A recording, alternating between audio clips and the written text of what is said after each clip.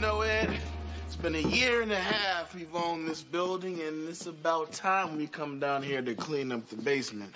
Yeah, it's worth it though. You know what I'm saying? We could do something with this spot, man. We could turn it into a, a place where the little kids could come down and shoot marbles. That's right. Now I take that back. Nowadays, kids would probably be shooting dice. or we could turn it into a gym. Ah, something.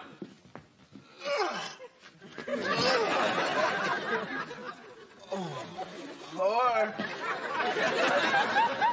we can use it as a big room to store stuff. Yeah, kind of like the way it is now. Exactly like the way it is now. I say our work is done here. Okay, well, that's settled. Cold drink? I could use one. Right.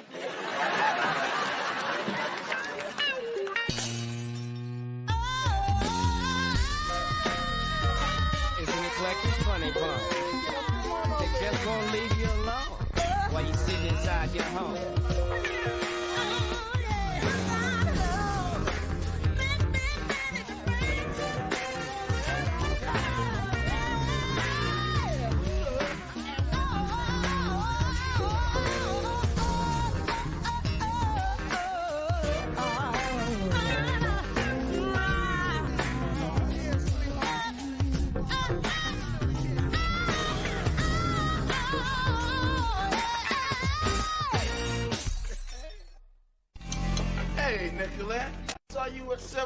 7-Eleven this morning.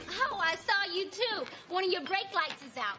Can I have the cranberry juice, please? Yeah, I've been meaning to ask Eddie to fix that. Yeah. Well, maybe this will help you get it done. You giving me a ticket? How can you do that? We're friends. We are, but that shouldn't interfere with an officer doing her duty. I took an oath to see that the laws of this city were enforced and respected. I mean, without the KCPD and without people like me, there'd be total anarchy.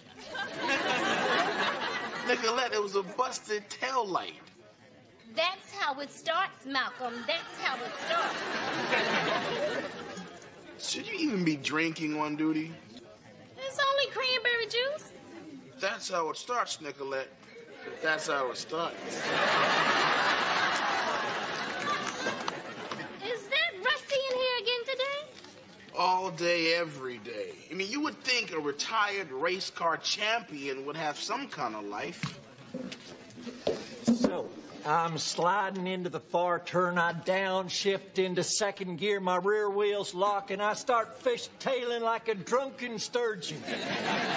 Caviar is supposedly the eggs of a sturgeon. Why would anybody eat those? Tell me that, and I'll die a happy man. Oh, don't get our hopes up. Excuse me, I've got a root canal I'm looking forward to.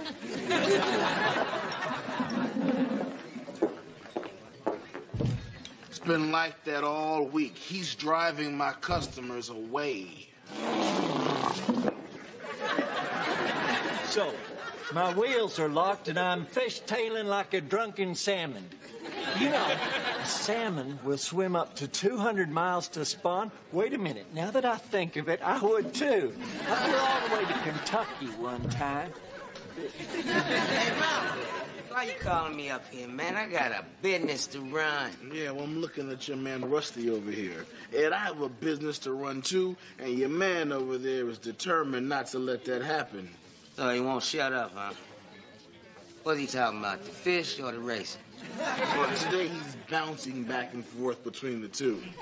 Hey, Eddie, good to see you. Did I ever tell you about the time my brother and I had that fish race out on that lake? Oh, yeah, you ate the bait.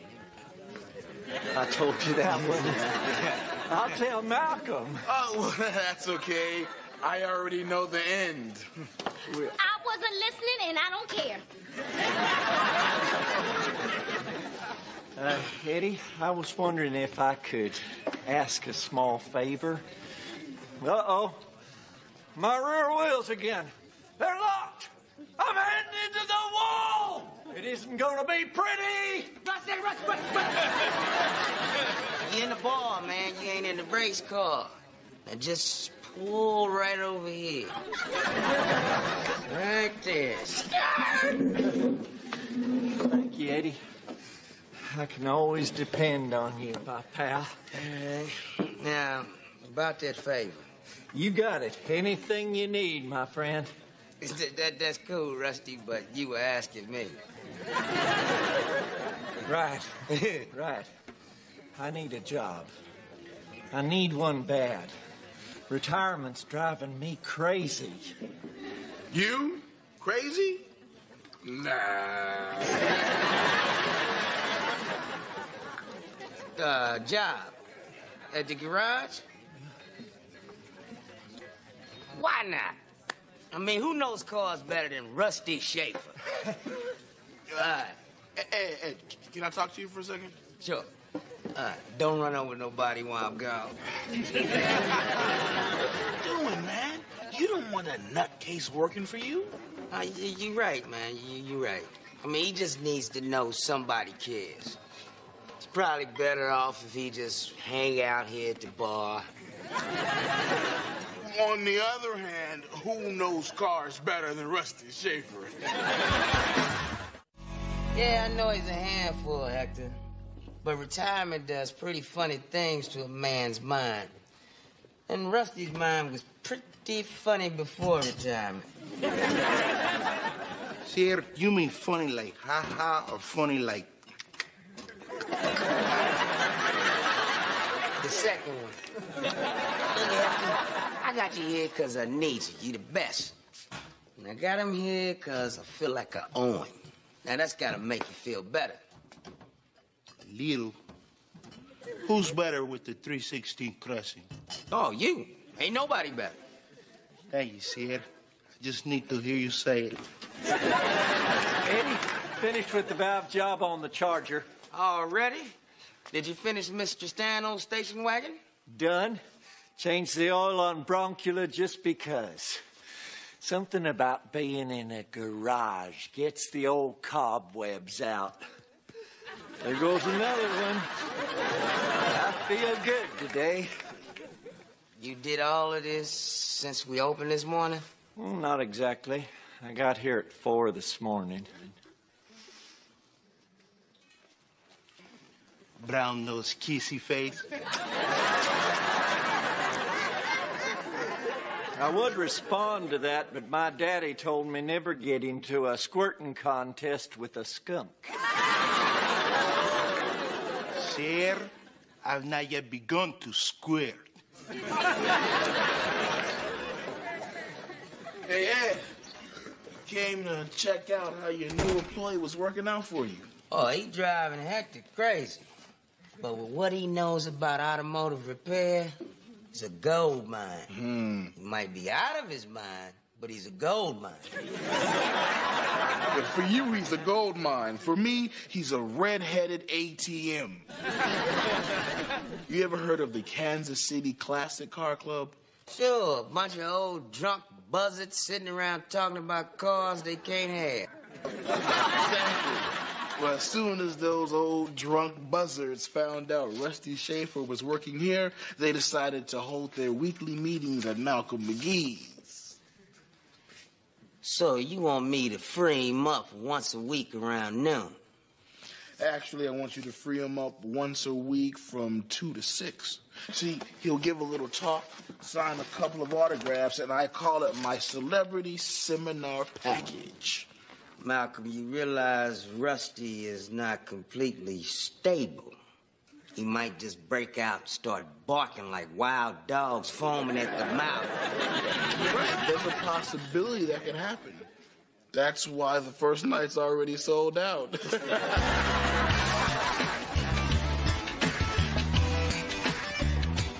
Yeah, I can squeeze you in Thursday, no problem. Knock your brakes right out. Uh, I tell Rusty you said hi.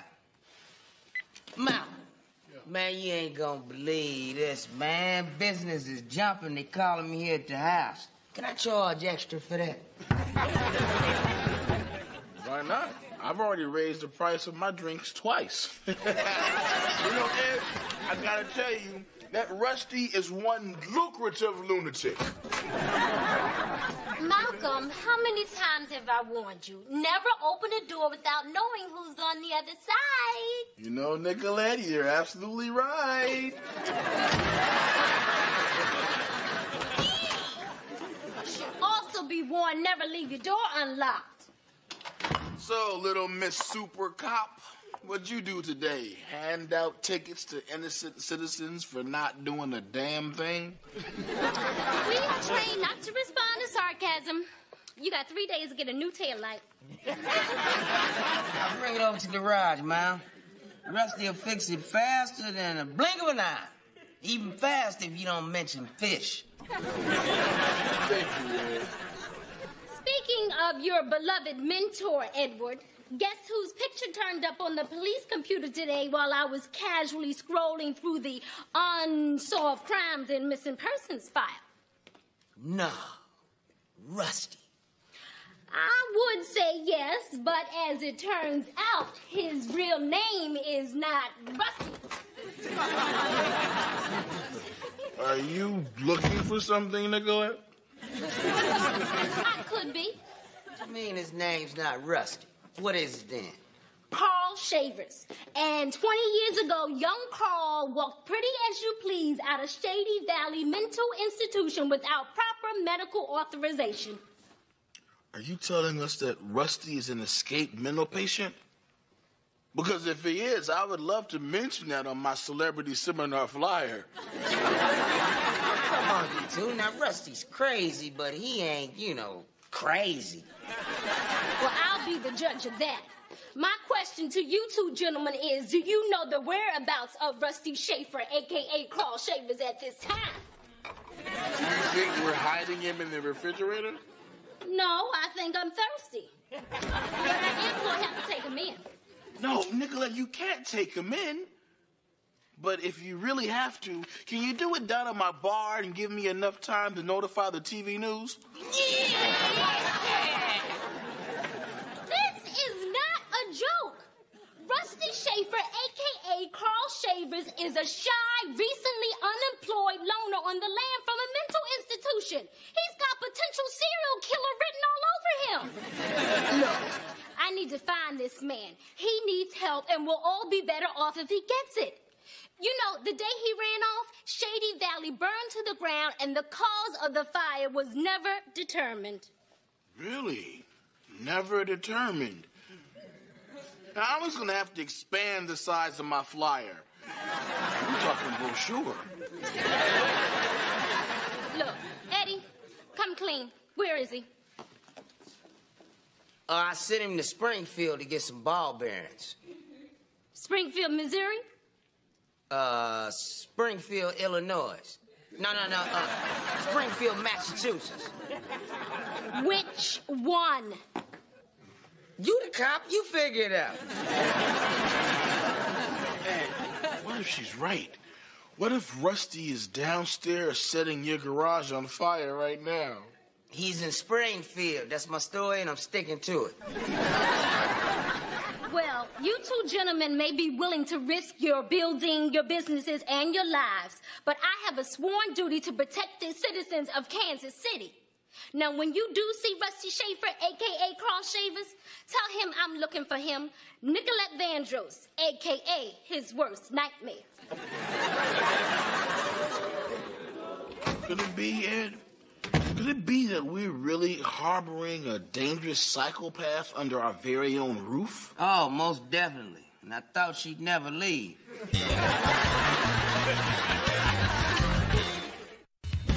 I sure appreciate you guys hiding me out like this.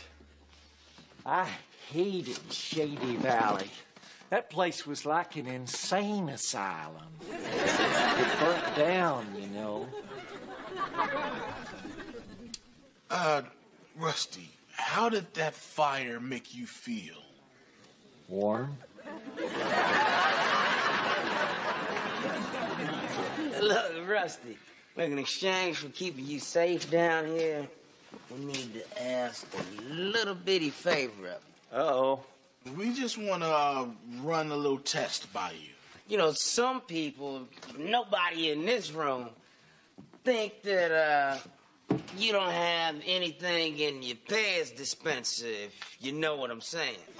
Sure, I know what you're saying. You tell those people I got a full clip. This test is easy. This isn't the test, Rusty.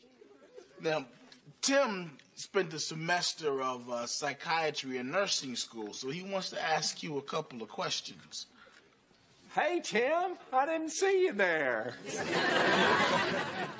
Maybe we need to check his eyesight, too. Okay, Rusty. I'm going to show you some ink blots. And I want you to tell me the first thing that pops in your head. Houseboat. You gotta wait for the blots. Okay, but I'm still going to say houseboat. I just like the way it rolls off the tongue. Uh, Rusty, you gotta take this seriously, man. Nicolette wants to lock you up. Malcolm wants to run and tell the whole world you crazy. I'm the only one on your side. Now, if you keep saying houseboat, I'm gonna cross over to the other side and we're gonna lock you up, mister. Okay, I just hope the first ink blot don't look like a houseboat. Ink block number one. What do you see? Not a houseboat, that's for sure. Okay. Uh, I think this is going to take a little longer than I thought it would. Perhaps you guys want to wait upstairs. Absolutely, Tim. Take your time. Yeah, this man's welfare is our only concern. Hey, Tim, uh, could you try to get this done in a half an hour? That's when the seminar starts. Okay. Now, what do you see?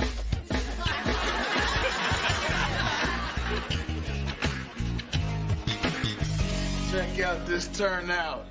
Good old Rusty. He escapes a mental institution and burns it down. You cannot buy publicity like that. Hey, you definitely lucky, but I don't know what you thinking. Cause as soon as he come upstairs, Nicolette gonna nab him. No, no, no, no, no. See, we never bring him upstairs. You tell Nicolette he never showed up. Meanwhile, I take the classic car guys down one by one to Rusty for a private audience. Hello. Hey, hey, Tim, what was the verdict? The patient seems perfectly fine to me. Rational, coherent, both oars in the water. Until you bring up fish. Oh, oh, oh, I I forgot to warn you about that. hey, what you doing here? You drive a bucket.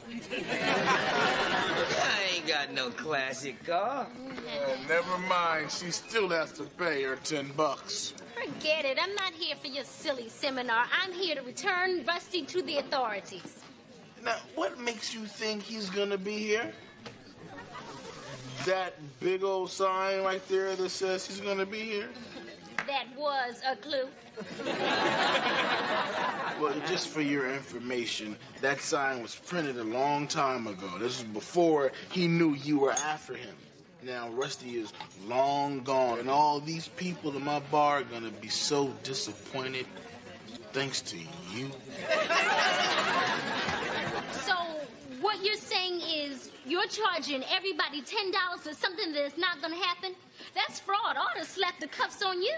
I didn't say it was not gonna happen. We still have a celebrity here, Eddie. Now, he drove in the KC 500, so he's gonna talk to the guys about that. How soon they forget. I won the KC 500. And I never burned down a mental institute. There was a little ants in the jar when I was a kid once. Remember? Very clever for now. But just like the Northwest Mounted Police, Nicola Vandross always gets her man. Hold up, Nicolette. Now, don't make me play hardball with you, okay? You turn up the heat on Rusty, we will turn up the heat on you. And how are you going to do that? We're your landlords. We'll turn up your heat. You cheap to waste fuel. Oh, yeah? Well, then we'll turn your heat off. You don't scare me. I got a space heater, and I'm not afraid to use it. You know, I'm beginning to think that Napoleon had a Nicolette complex. Give me a minute, man. I gotta get my speech together. Yeah, I got the car stuff down. I'm working on a mental institution. No, Ed, the only reason I said you were going to speak was to throw Nicolette off the trail. Nobody wants to hear you talk. We got Rusty Schaefer downstairs giving a private audience, remember? Nobody wants to hear me speak. Man, I bet you if I burn down an Irish pub, oh, people gonna want to hear me. Gentlemen, look what I found in your basement. Rusty, my hand. Where's my ball bearings at? I am impressed. Where'd you find them? How'd you find him? I notice every time you mention Rusty's name, you subconsciously glance over the basement door. Malcolm, you always subconsciously glance. Wait a minute, are all these people here to see me? Yes, they sure are. And I sure would hate to have to break their hearts at $10 a pop. Ma'am, I know I done something wrong, and I know you got your job to do. But I feel bad about disappointing Eddie and Malcolm. Let me give my talk, and then we'll go. You see that, Nicolette? Now that's a conscience. Plus, Tim gave Rusty an ink blot test, which he passed through with flying colors. Uh, I'm sorry, but I just realized I was holding ink blocks upside down. And you wait till now to tell me that. Well, I got distracted. He was telling me a very sad story about his cousin in the Northern Pike. Come on, Nicolette, have a heart. It's been 20 years. Now, what's the difference if it's 20 years and 20 minutes? Come on now, come on. Oh, all right. I accomplished what I set out to do. Go ahead, knock yourself out, Rusty. Uh, Rusty. Little tip. Start out with a joke. You'll have him eating out the palm of your hand. Ladies and gentlemen, please bang your hands together for NASCAR Hall of Famer Rusty Schaefer.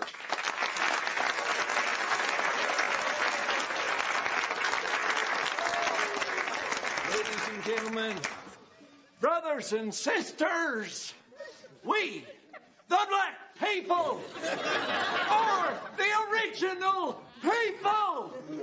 Uh-oh. Rise up and unify. Nicolette, make that call. I was wrong. He's gone. He's gone. Mandingo, Mandela, Shaquille O'Neal.